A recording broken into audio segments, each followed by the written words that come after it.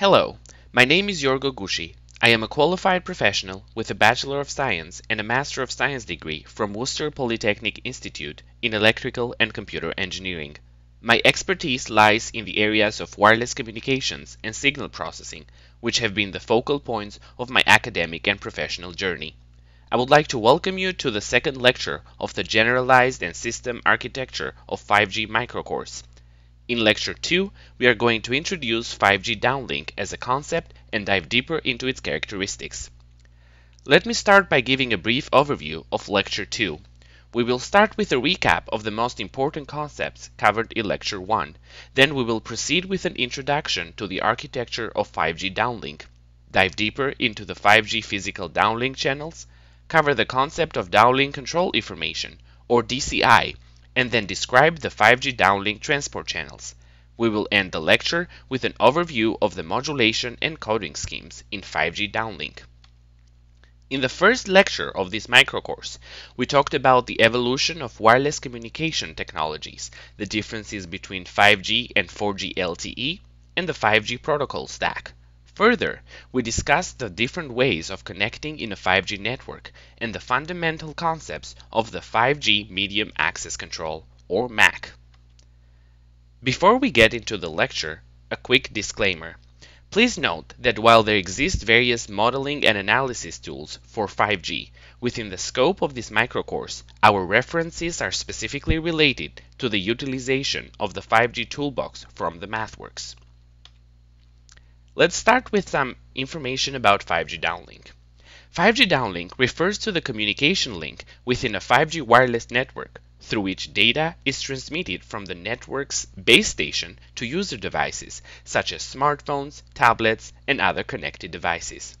Some key characteristics of 5G downlink include higher data rates. 5G downlink offers significantly higher data transmission rates compared to previous generations of wireless technology. 5G downlink aims to minimize latency, which is the delay in data transmission. 5G downlink is designed to handle a massive number of connected devices simultaneously, making it suitable for applications involving the Internet of Things and smart cities. It utilizes a range of frequency bands, including both sub 6 GHz and millimeter wave bands. 5G downlink uses advanced modulation schemes such as higher order quadrature amplitude modulation, which are employed to encode more data into each transmitted symbol. Some key components of the 5G downlink architecture include the base station, which is also known as the GNB or Next Generation Node B, which is a critical component of 5G networks. It serves as a central point for communication between user devices and the core network. 5G GNBs are designed to support significantly higher data rates to meet the increasing demand for data-intensive applications such as streaming, video conferencing, and virtual reality. Additionally, they support a large number of simultaneous connections, which is crucial for accommodating the vast number of Internet of Things devices and supporting crowded urban areas. The radio access network encompasses the infrastructure of base stations, including GNBs. To address coverage and capacity challenges, small cells are deployed. The latter are low-power base stations that enhance network capacity and coverage in specific localized areas. The 5G network architecture includes a hierarchy of channels that play crucial roles in the communication process. We start with the logical channels. They operate at the highest level in the 5G channel hierarchy and are closely related to the application layer. They define how data is organized and segmented for specific services and applications. We then proceed to the transport channels. They sit above the physical channels in the hierarchy and are responsible for error correction, retransmissions, and multiplexing or demultiplexing of data. These channels ensure reliable data transfer between the G node B and the user equipment. We then have the physical channels. They are the lowest level in the 5G channel hierarchy and deal directly with the physical layer of the network. They represent the actual radio waves and electromagnetic signals transmitted over the air between the transmitter and the receiver. Let's proceed with the concept of 5G downlink physical channels. 5G New Radio or 5G NR defines a set of physical downlink channels that facilitate the transmission of data and control information from the network to user devices. The physical downlink channels in 5G NR are divided into two main categories control channels and data channels. Control channels carry signaling and control information, while data channels transmit user data. Some important 5G NR physical downlink channel types include PDSCH or Physical Downlink Share Channel, which carries user data and operates based on resource allocation. We have PDCCH or Physical Downlink Control Channel, which carries downlink control information like scheduling assignments and hybrid automatic repeat request feedback. We have PBCH or physical broadcast channel, which carries system information and provides initial synchronization for the devices. The physical downlink shared channel is a fundamental physical channel responsible for carrying user data from the base station to user devices, such as smartphones and IoT devices. The term shared indicates that multiple users share this channel's resources simultaneously. The PDSCH employs advanced techniques like orthogonal frequency division multiplexing, or OFDM, and multiple antenna technologies to ensure robust data transmission. It operates in various frequency bands, including the revolutionary millimeter wave spectrum, offering an excellent balance between coverage and capacity. Let's share some key concepts about the physical downlink share channel. Resource allocation in PDSCH is dynamic and adaptive. Time, frequency, and spatial resources are assigned according to user needs. This flexibility allows the network to allocate more resources to users with higher demand, ensuring fair distribution and optimal throughput. PDSCH data is mapped onto OFDM symbols, each symbol representing a group of subcarriers.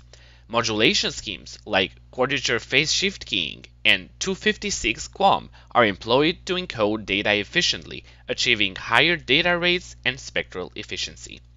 PDSCH benefits from beamforming, focusing signals towards users to enhance signal quality. Massive MIMO with multiple antennas at both ends further improves channel reliability and overall performance. At the heart of 5G NR's downlink communication lies the physical downlink control channel, the command center directing data transmission to user devices. PDCCH handles scheduling assignments, link quality indications, power control commands, and other critical control information. The PDCCH operates within the frequency range allocated for control channels, ensuring seamless interaction with user devices. To accommodate varying control information sizes, PDCCH uses aggregation, combining multiple control bits into larger coded blocks. These blocks are then mapped to physical resources, optimizing the channel's efficiency. PDCCH resource allocation is dynamic and adaptive as well, ensuring efficient usage of spectrum and accommodating diverse user requirements. It employs techniques like control channel element aggregation and dynamic assignment to enhance flexibility. User devices continuously monitor the PDCCH to detect control information intended for them. A two-stage process involving blind search and demodulation allows devices to locate and decode PDCCH messages. The PDCCH carries information about the scheduling of data transmission, identifying user devices through unique identifiers, it grants permission for devices to access the PDSCH and communicates essential control commands. The physical broadcast channel operates as a broadcast channel transmitting system information that every user device within the cell needs to access and understand the network. The PBCH provides a synchronization signal, helping user devices synchronize their timing with the network. This synchronization is vital for accurate data transmission and reception. The PBCH broadcasts the cell identity, a unique identifier for the cell. User devices use this information to differentiate between neighboring cells. Information about the frame structure, including the number of slots, subframes, and their arrangement, is conveyed via the physical broadcast channel. This helps user devices understand the timing and structure of the network. The PBCH's primary mission is to transmit the master information block, or MIB. This block holds critical network configuration parameters, acting as a blueprint for devices to access and operate within the network. The MIB contains information such as the cell's identity, frame structure, subcarrier spacing, and initial access configuration. By broadcasting the MIB, the PBCH ensures that all devices in the coverage area have access to the essential information they need to sync and communicate effectively. Beyond the MIB, the PBCH also serves a crucial function in synchronization. It carries synchronization signals that allow devices to achieve precise timing and frequency alignment with the network. To ensure reliable and efficient information delivery, the PBCH is allocated dedicated resources for transmission. Downlink control information refers to the set of essential control messages and signaling that are transmitted from a cellular network's base station, eNode B or GNB, to user devices, or UEs, in a wireless communication system. DCI serves as a means of communication between the network and the devices to manage various aspects of the downlink transmission, including resource allocation, scheduling, power control, and more. DCI messages carry information about how radio resources, such as time slots, frequency bands, and spatial resources, are allocated to specific user devices for receiving data. DCI informs user devices about when they can expect to receive data. It includes details about which channel or resource will be used to transmit the upcoming data. DCI messages can contain power control commands that instruct user devices to adjust their transmission power levels to optimize signal quality and network efficiency. DCI messages in wireless communication systems like LTE and 5G NR come in various formats. DCI messages in wireless communication systems like LTE and 5G NR come in various formats, each designed to convey specific information for managing downlink transmissions. Format 0 is a simple format used for broadcasting system information and synchronization signals. It typically includes information about cell identity and system configuration. Format 1 used for downlink scheduling assignments, specifying resources for data transmission to user devices. It includes information about resource blocks, modulation schemes, and transmission power. Format 2 carries information about semi-persistent scheduling assignments, where the resources are allocated periodically for specific application or services.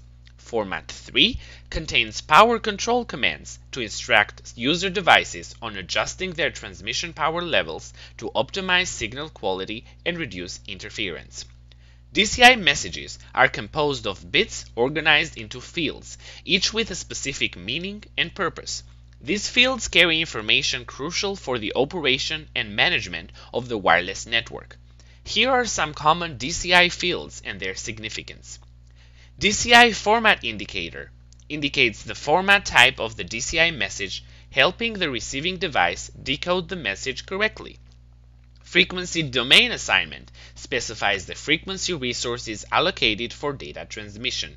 Time domain assignment. It specifies the time resources, subframes or symbols allocated for data transmission. Resource allocation type.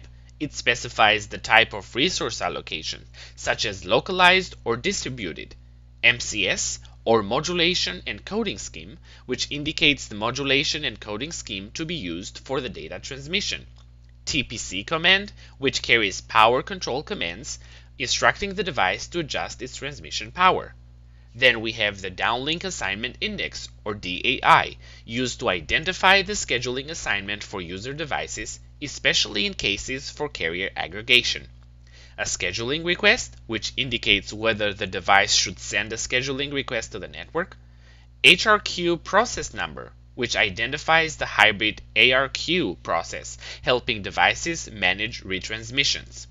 Precoding information, which carries information about beamforming and precoding for optimized signal reception. And at last, spatial assignment, specifies the spatial resources allocated for multiple input, multiple output, or MIMO transmission. In the architecture of 5G wireless communication, downlink control information is conveyed through the physical downlink control channel. DCI messages are mapped onto control channel elements, forming the fundamental units of transmission for control information. These CCEs are subsequently organized into control resource sets or CORESETs. Each CCE can carry a portion of the DCI message, making it possible to transmit multiple DCI messages within the same PDCCH resource. User devices use a technique known as blind decoding to detect the CCEs assigned to them and retrieve the relevant DCI information. This process involves examining the PDCCH resources and attempting to decode the CCEs without prior knowledge of the exact location or content of the DCI messages. By detecting the CCEs associated with their assigned resources, devices can uncover the instructions and commands sent by the network. DCI messages play a crucial role in instructing user devices about the optimal beamforming techniques to use. Beamforming involves directing a focused radio signal towards a specific user, effectively increasing signal strength and reducing interference. The DCI provides information that helps devices adjust the phase and amplitude of transmitted signals, ensuring the beam is aligned with the user's location for improved signal quality. DCI assists in orchestrating massive MIMO configurations, Massive MIMO leverages an array of multiple antennas at both the base station and user devices to simultaneously transmit and receive multiple data streams. DCI messages guide the coordination of antennas, ensuring that each device receives the appropriate data streams on different spatial paths.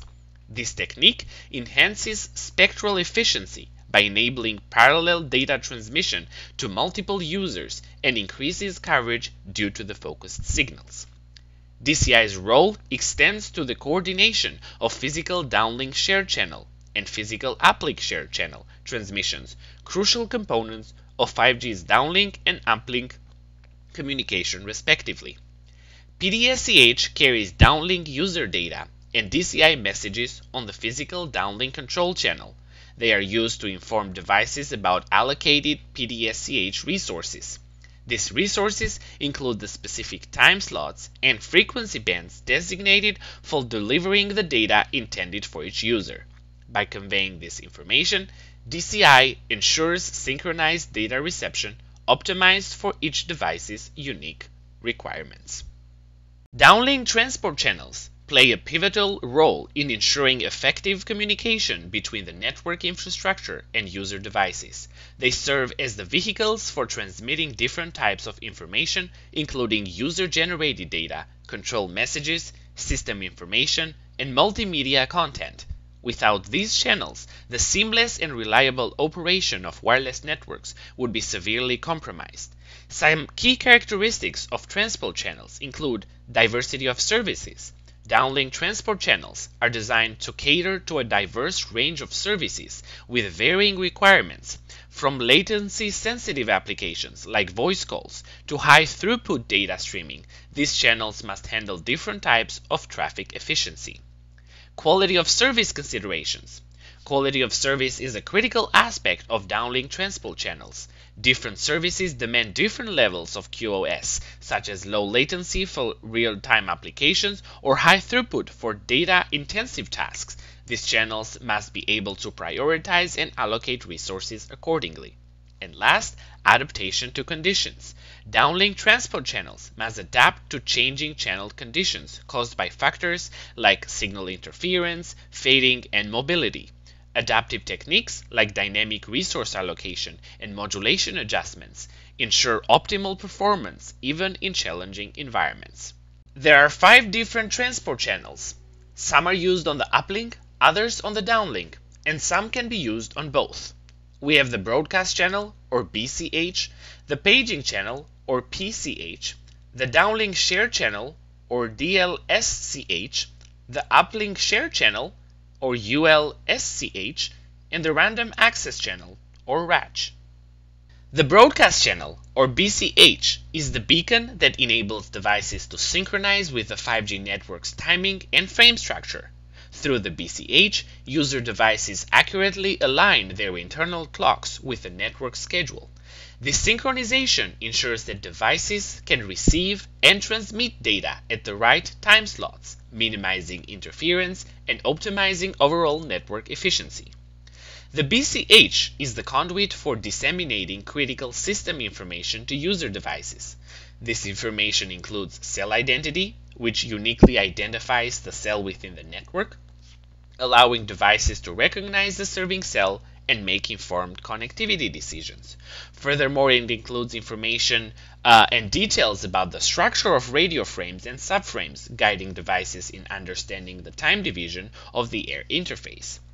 BCH conveys information about the allocation of frequency bands and resources for various channels, including data and control channels. Furthermore, it includes details about modulation schemes, coding rates, and transmission power levels that devices should use for optimal communication.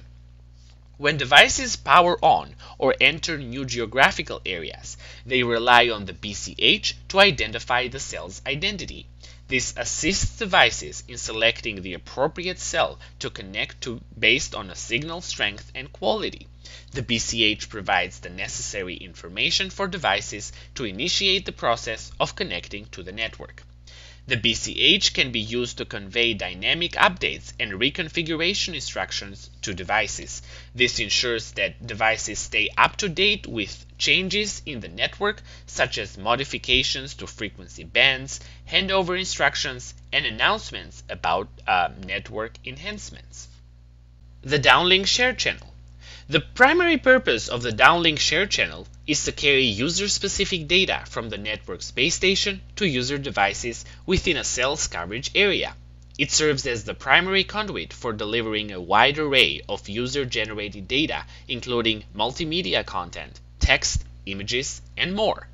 DLSCH caters to the diverse data needs of user devices. From streaming high definition videos to exchanging real time messages, DLSCH ensures that devices receive the data they require in a timely and efficient manner. It's designed to accommodate a range of devices, applications, and data types, contributing to a seamless user experience. DLSCH operates with a dynamic resource allocation strategy. This means that resources such as time slots, frequency bands, and modulation schemes are assigned and adjusted based on individual device requirements, channel conditions, and the network load. This adaptability ensures that resources are utilized efficiently, optimizing data rates and minimizing interference. To enhance data transmission reliability, DLSCH employs Hybrid Automatic Repeat Request, or HARQ, which combines automatic repeat request and forward error correction, or FEC techniques, allowing devices to request retransmissions of corrupted data segments. This contributes to the seamless delivery of error-free data to devices. The random access channel serves as a gateway for user devices to initiate communication with the network in two main scenarios. The first scenario is initial connection setup. When a device first enters a cell's coverage area or powers on, it sends an access request through the random access channels to establish an initial connection with the network. This marks the beginning of the communication process. The second scenario is the data transmission requests. Even after the initial connection, devices use the random access channel to request resources for transmitting data. For instance, when a device has data to send, it employs the random access channel to request resources for subsequent data transmission. One distinctive feature of the random access channel is its operation on a contention-based principle contention for access. The random access channel operates on a contention-based mechanism, meaning multiple devices may contend for access to the channel simultaneously. We have the transmission of random access preambles.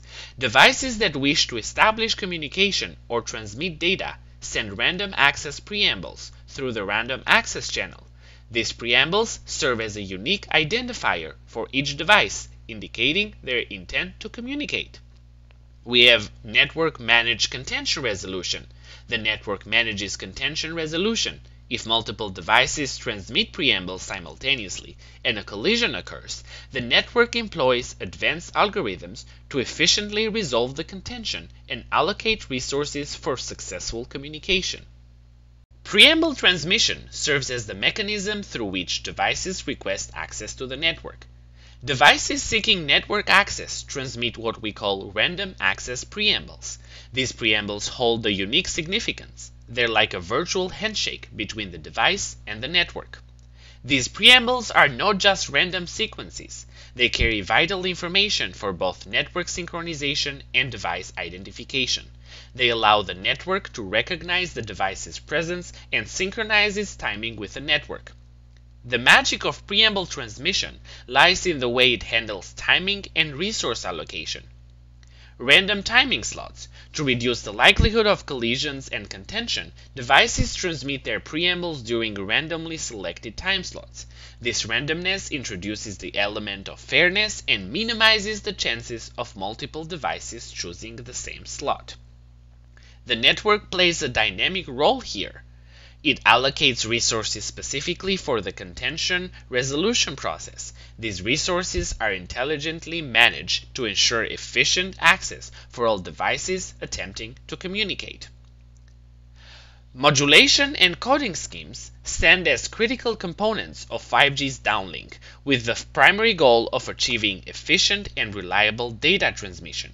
These schemes work in tandem to strike a balance between data rate, spectral efficiency, and error performance, ensuring that the wireless communication is both fast and robust.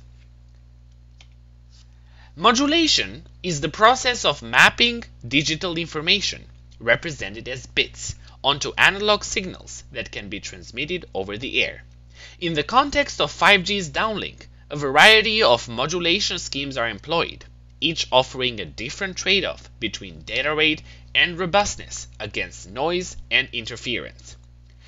Quadrature phase shift keying, or QPSK, is a foundational modulation scheme used extensively in wireless communication. It's a fundamental starting point for understanding modulation techniques. In QPSK, encodes two bits of information per symbol. It does this by dividing the symbol space into four phases 0 degrees, 90 degrees, 180 degrees, and 270 degrees. QPSK offers robustness against noise and interference due to its relatively large phase separation between symbols. This makes it particularly suitable for communication in noisy environments or over long distances. While QPSK provides a lower data rate per symbol compared to higher order schemes, its robustness makes it an excellent choice for scenarios where error resilience is crucial. 16 quadrature amplitude modulation, or 16 QAM, builds upon the principles of QPSK by introducing more levels of amplitude variation in addition to phase variation. In 16 QAM, each symbol carries 4 bits of information, it combines four amplitude levels with four phase angles to create 16 distinct signals points in the constellation diagram. 16 QAM offers higher data rates compared to QPSK due to the increased number of bits per symbol. This higher data rate improves spectral efficiency by transmitting more bits within the same bandwidth. While 16 QAM provides higher data rates, it is more sensitive to noise and interference compared to QPSK. This trade-off between data rate and robustness needs to be carefully considered based on channel conditions. 64 QAM builds upon the concepts of both QPSK and 16 QAM, offering even higher data rates and more complex signal constellations.